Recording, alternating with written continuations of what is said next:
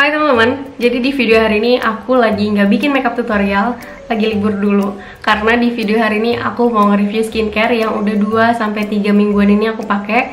Kalau kalian ngikutin Instagram aku, kalian pasti tahu produk apa yang lagi aku pakai sekarang-sekarang. Sekaligus menjawab pertanyaan kalian yang suka masuk ke DM aku Kak, skincare-nya apa? Kak lagi pakai skincare apa? Kak spill skincare-nya dong. Nih sekalian aku membahas tuntas semuanya Nah sebelum masuk ke reviewnya aku mau jelasin dulu kenapa aku mencoba produk skincare ini. Jadi yang pertama pas aku pulang dari Bali sih kulit aku lagi agak rusak. Pertama karena gosong jadi kayak kemerahan gitu loh kulit aku. Terus yang kedua aku sempet flu di sana. Jadi ya namanya orang ingusan ya kayak dilap-lap pakai tisu. Jadi bagian hidung aku tuh uh, bagian sini merah-merah kayak lecet gitu iritasi. Terus bagian sini tuh kering gitu. Jadi kalau pakai skincare apa apa tuh cekit-cekit gitu. Rusak aja gitu kulitnya. Dan waktu itu juga sempat ada jerawat di bagian sini gede-gede banget. Udah aku congkel udah di gimana gimanain tetap nggak keangkat. Yang akhirnya aku paksain congkel gitu. Akhirnya berdarah dan kayak ada bekasnya gitu loh. Nah saat itu aku pikir dengan kondisi kulit aku yang demikian skin type aku berubah dari oily menjadi sensitive skin. Tapi ternyata enggak itu tuh uh, kondisi yang demikian yang disebabkan karena kemerahan, terus iritasi karena makeup, karena skincare itu tuh namanya sensitized skin. Ini aku mau jelasin dulu perbedaan antara sensitive skin dan sensitized skin. Jadi kulit sensitif itu terbagi dua. Seingat aku, ini maaf banget uh, kalau salah, correct me if I'm wrong. Jadi yang pertama tuh sensitive skin, ini bawaan dari lahir ke genetik gitu dan yang satu lagi yang tadi aku sebutin, sensitized skin, ini disebabkan karena makeup, terus karena nyoba-nyoba skincare atau skin barrier lagi rusak. Dan ini adalah kondisi yang lagi aku alami saat ini. Jadi aku lagi di fase sensitized skin. Nah, produk yang lagi aku pakai sekarang ini cocok banget untuk uh, tipe kulit yang sensitif dan lagi ada di fase sensitized skin kayak aku. Karena dia cepet banget gitu untuk meredakan kemerahan di kulit. Dan daripada berlama-lama, mending langsung aku spill sekarang produknya. Jadi produk yang lagi aku pakai sekarang dan mau aku review di video hari ini adalah RH Sensitive Ultra Calm. Yang ini produknya. Nah dari ingredientsnya sendiri dia ini cocok banget buat orang-orang yang punya kulit kering dan sensitif Tapi dia ini juga bisa dipakai di kulit yang oily kayak aku Karena produknya benar-benar ngehidrasi banget dan karena kulit aku lagi agak-agak iritasi dan lain sebagainya yang tadi udah aku jelasin dia ini super duper duper duper ngebantu dan cepet banget meredakan kemerahan di kulit aku.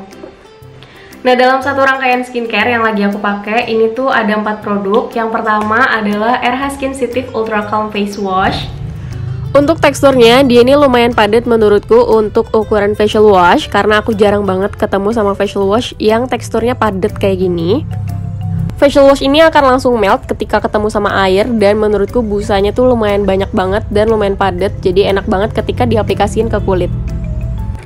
Untuk key ingredientsnya, dia mengandung PHA untuk mengangkat sel kulit mati. Selain itu, mengandung 5 layer moisturizing agent yang berfungsi untuk menenangkan kemerahan yang teriritasi ringan dan untuk menjaga kelembapan alami kulit dan setelah aku bilas, setelah aku keringin tuh kulit aku jadi kayak lembut, kayak lembab, terus terhidrasi dengan baik dan gak ada efek ketarik di wajah aku. Setelah pakai face wash, dibilas dan dikeringin, lanjut pakai RH Skin Sensitive Ultra Calm Face Toner.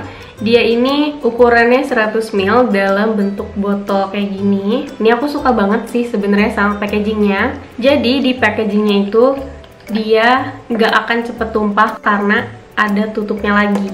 Nih kayak gini. Jadi ini aman banget buat orang-orang yang ceroboh seperti aku. Jadi nggak akan gampang bocor, nggak akan gampang jatuh juga karena udah ada si pelindungnya tadi. Untuk tekstur dari si toner sendiri, dia ini cair tapi nggak yang cair banget, kayak agak sedikit lebih kental daripada air. Terus dia ini gampang banget diaplikasin ke kulit dan nggak bikin lengket, udah gitu cepet banget menyerapnya. Nah, untuk key ingredients dari si toner ini, dia punya multiple soothing agent yang fungsinya untuk menenangkan kemerahan pada kulit yang teriritasi ringan. Lalu dia mengandung double hyaluronic acid yang fungsinya untuk memberikan kelembapan ekstra. Dan dia juga mengandung ceramide dan niacinamide untuk merawat kesehatan fungsi pertahanan kulit. Nah biasanya untuk penggunaan toner ini aku ada dua cara Yang pertama tuh dituang ke tangan langsung Kayak langsung aku apply ke wajah gitu yang kedua, aku pakai tisu. Nah, pakai tisu ini juga aku punya dua cara. Yang pertama dipakai buat ngebersihin sisa-sisa makeup di wajah aku. Yang kedua itu dipakai buat kayak masker gitu loh. Jadi dituang ke kapas dulu. Habis itu nanti dipakai gitu Diemin sekitar 5 sampai 10 menitan baru habis itu diangkat dan lanjut ke step skincare yang berikutnya. Nah setelah pakai toner, setelah si toner yang menyerap, aku lanjut biasanya pakai RH Skin Sensitive Ultra Calm Face Serum. Ini serumnya ukurannya 30 ml. Untuk tekstur serumnya, dia ini nggak terlalu cair dan nggak terlalu padat. Menurutku pas banget. Dia ini super ringan banget, gampang menyerap dan nggak bikin lengket setelah dipakai. Untuk key ingredientsnya, dia mengandung Time Barrier Action dengan 1% oat extract, shea butter, dan argan oil yang berfungsi untuk memperkuat fungsi skin barrier, mengurangi rasa gatal, dan menenangkan kulit yang teriritasi ringan dalam 5 menit. Selain itu, dia juga mengandung 5 layer moisturizing agent dengan 5% panthenol, hyaluronic acid, vitamin E, neem leaf extract, dan natto gum untuk melembabkan kulit secara optimal. Dan kalau udah selesai pakai serum, aku selalu lanjut pakai skin barrier moisturizer. Ini yang ini, ini beda banget packagingnya sama yang serum tadi. Untuk moisturizernya dia warnanya putih dan menurutku dia agak lebih padat ya daripada serumnya tapi dia masih gampang banget nyerap ke kulit dan gak ninggalin lengket setelah dipakai. Untuk key ingredientsnya dia ada dua. Yang pertama dia punya ceramide complex sebagai four barrier defense system yang memperbaiki dan memperkuat skin barrier, melembabkan serta menstimulasi produksi ceramide alami pada kulit. Dan yang selanjutnya dia punya 8 ultra soothing factors yang mengandung allantoin, panthenol, niacinamide, dan 5 natural extract yang menenangkan kemerahan pada kulit yang teriritasi ringan. Aku mau review keseluruhan produknya. Jadi untuk produknya sendiri dia tuh nggak lengket, kayak gampang banget menyerap. Terus kalau aku pakai si ini dua produk ini, itu tuh muka aku langsung auto glowing gitu loh. Kayak nggak tahu ya, ini aku doang yang merasa kayak gini atau kalian yang pernah nyoba ini juga merasakan hal yang sama. Jadi setelah pakai si face serum dan si skin barrier moisturizer, kulit aku jadi lebih glowing gitu loh setelah pakai dibanding sebelum aku pakai dua produk ini udah gitu dia menghidrasi melembabkan kulit aku juga dan nggak ada rasa nggak nyaman sama sekali setelah pakai semua produknya jadi aman-aman aja di kulit aku. Dan ini kondisi kulit aku di tanggal 28 Januari lebih cerah, lebih lembab juga bekas jerawat aku memudar dan kemerahannya udah nggak ada lagi.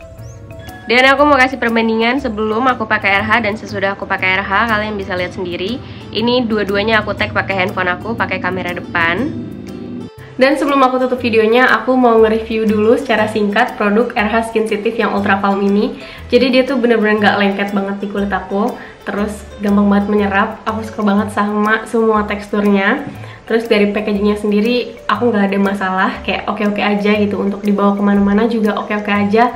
Termasuk si uh, face toner ini ini aman banget buat dibawa ke mana-mana karena udah ada tutupnya dalamnya jadi nggak akan bocor. Dan terakhir kalau kalian mau beli RH Sensitive Ultra Calm ini kalian bisa klik link di description box aku atau kalau kalian mau cek-cek produk lainnya dari RH bisa langsung ke official store-nya RH atau kepoin di Instagramnya RH